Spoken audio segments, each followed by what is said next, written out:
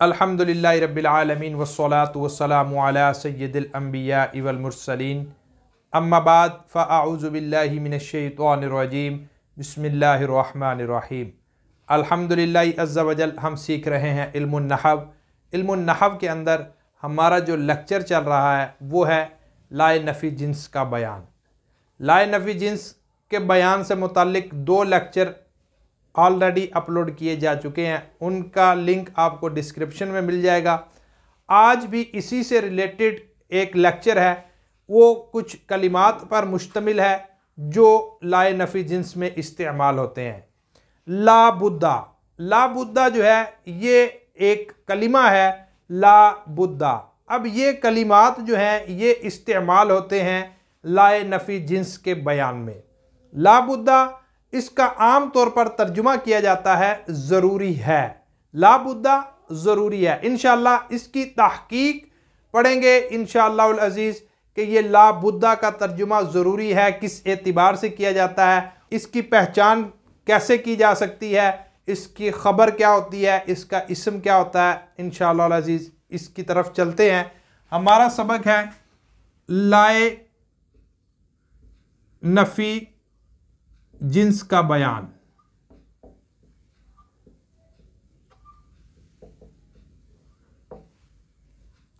आज हम लाए नफ़ी जिन्स के अंदर जिस पर बहस करने जा रहे हैं, वो है ला बुद्धा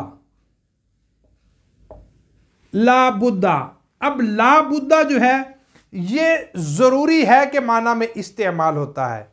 ला बुद्धा ज़रूरी है कि माना में इस्तेमाल होता है किस तरह इसका माना ज़रूरी है किया जाता है इन ये भी सीखेंगे। और आगे मज़ीद जो है, इसका इसम क्या है, इसकी ख़बर क्या है, और भी इसके अंदर बहुत सी अहम बातें हैं जो इन अज़ीज़ सीखने की कोशिश करते हैं। ला बुद्धा, जहाँ पर भी ला जो है, ये बुद्धा के साथ इस्तेमाल हो। ला बुद्धा के साथ इस्तेमाल हो तो ये एक निशानी है कि वो ला जो है, वो लाए नफ़ी जिन्स होगा।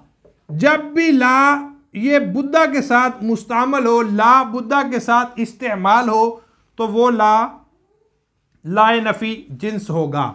और बुद्धा जो है, ये लाए नफ़ी जिन्स का इसम होगा।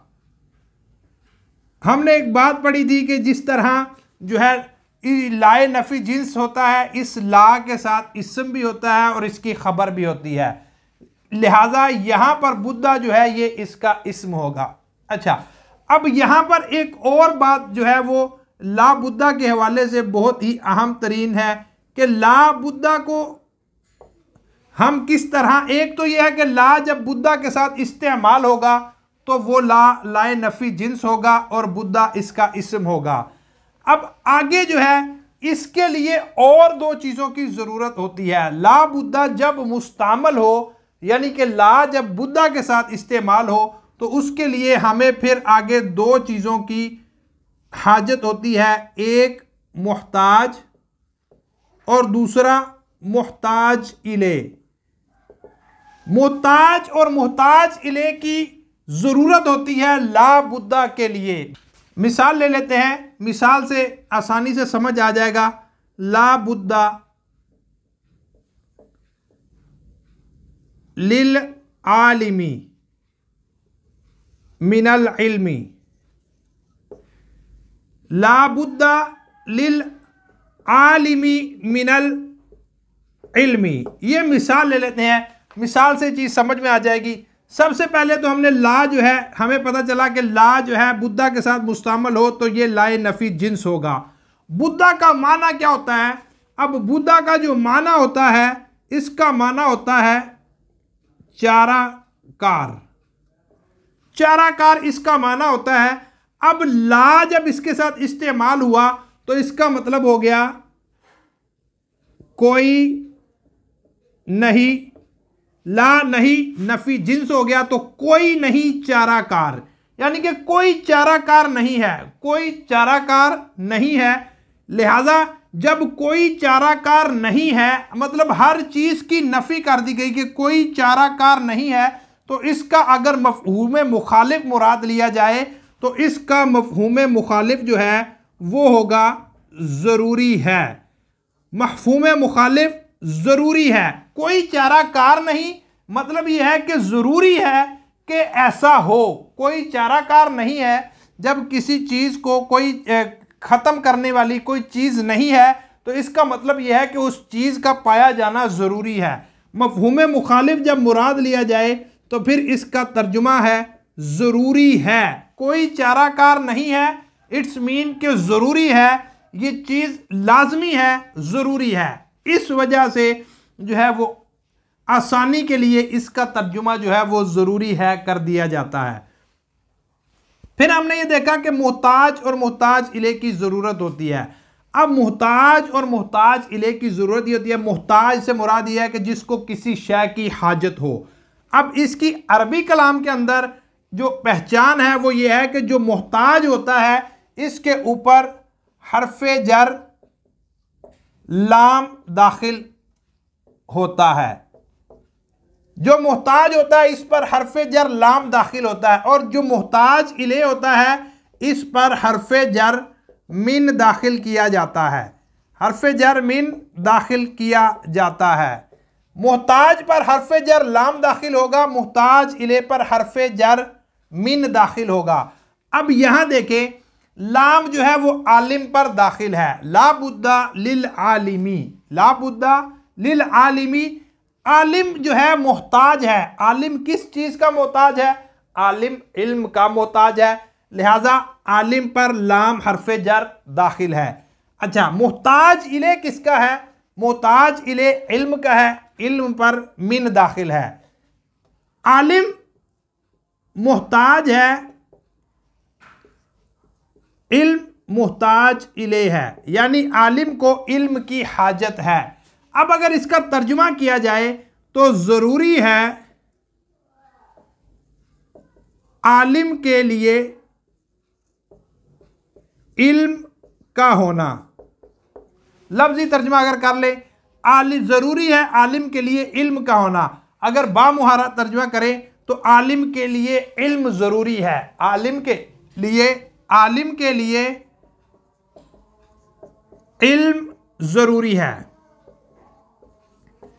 आलिम के लिए इल्म ज़रूरी है। अब आलिम जो है, ये मोहताज है इल्म का। तो पहचान ये है कि लाम जिस चीज़ पर दाखिल होगा, वो होगा मोहताज। और मिन जिस चीज़ पर दाखिल होगा, वो है मोहताज इले। इन दोनों चीज़ों का ला बुद्धा जब मुस्तमल हो, लाम बुद्धा के साथ मुस्तमल हो तो उसके लिए मोहताज और मोहताज इले का होना भी ज़रूरी है। अब आलिम के लिए इल्म ज़रूरी है। लाबुद्दा आलिमी मिनल इल्मी। आलिम के लिए इल्म ज़रूरी है। ये है जी लाबुद्दा आलिमी मिनल इल्मी का तर्जुमा और इसकी तहकीक। यहाँ हमने पढ़ा था कि ला ला जो है जब बुद्धा के साथ इस्तेमाल होगा तो ये इसका इसम होगा। अब हमें इसकी खबर की भी हाजत है। तो जार मजरूर जो है, ये खबर बनते हैं, जार मजरूर जब मुतल होकर ख़बर बनते हैं। अब यहाँ पर इसकी दो तरह से तरकीब की जा सकती है। नंबर वन ये है कि लिल आलिमी, लिल आलिम को ज़रफ़ मुस्तकर बनाकर ख़बर अव्वल बनाया जाए। और मिनल इल्मी, इसको भी ज़रफ़ मुस्तखर बनाकर ये लिल आलिमी ख़बर अव्वल हो जाएगी, ख़बर अव्वल। और मिनल इल्मी, इसको भी ज़रफ़ मुस्तकर बनाकर इसकी ख़बर सानी बनाया जाए। लिल आलिमी, ख़बर अव्वल।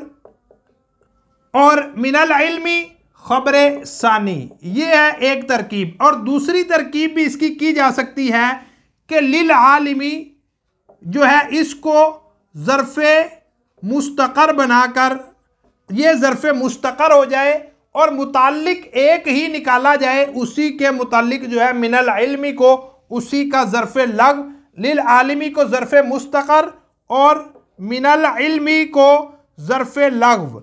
मिनल इल्मी को ज़रफ़ लग बनाकर इन दोनों को जो है इसकी खबर बना दिया जाए। ला बुद्धा लाए नवी जिन्स का इसम बुद्धा आलिल आलिमी मिनल इल्मी लिल आलमी को ज़रफ़ मुस्तकर, मिनल इल्मी को ज़रफ़ लग बनाकर इसका, इसकी खबर बना दिया जाए। या इन दोनों को अलग अलग भी खबरें, अव्वल और खबर सानी बनाया जा सकता है। यह है लाबुद्दा लाबुद्दा की तहकीक, लाबुद्दा का माना मफहूम मुखालिफ से कैसे ज़रूरी है माना मुराद लिया जाता है।